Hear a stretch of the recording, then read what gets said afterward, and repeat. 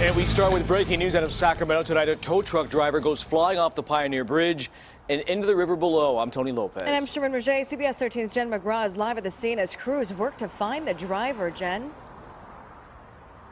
Tony and Sharon, absolutely terrifying. This driver plunged off of the highest point of the Pioneer Bridge right behind me, where 50 is right there. It's uh, hard to estimate just how tall this bridge is, but 50, 60, 70 feet up into the air.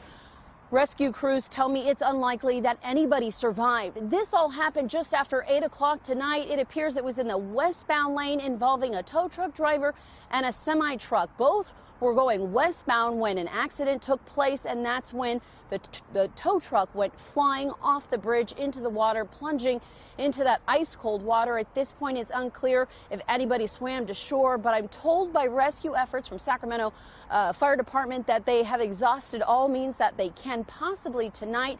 They have, however, located that tow truck about 30 feet inside the Sacramento River through using sonar. But at this point, they say it's just too dangerous and too cold and too dark to really go in and pull up that truck tonight. Uh, crews at this point have uh, pretty much left the scene here along the river. There were boats out here, there were swim divers, all searching for the survivor or survivors back um, out in that Sacramento River. Still a chaotic scene up there on 50. Some of the guardrail is actually missing from where that tow truck went off. I'm told that that barrier right there is so significantly strong and the impact must have just been too severe for that tow truck driver to go off this side of that Pioneer Bridge is absolutely devastating.